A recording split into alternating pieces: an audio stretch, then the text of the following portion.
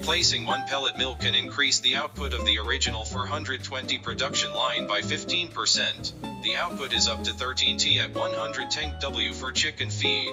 Transmission efficiency is up to 97%, reducing the power consumption.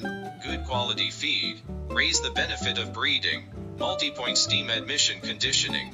Feed is heated rapidly to improve the maturing degree. Optimize the angle of blade. Prolong the maturing time. Mix fully.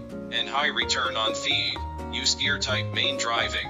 The transmission efficiency is higher humanized and automatic operation equipped with automatic control system, steam control, frequency conversion feeding, automatic oil lubricating system makes oil adding easier, complete ancillary equipment optional feed quality optimization system, real-time online control the feed moisture, optional door cover spraying system, add various Nutra developments, can be equipped with ring die lifting device.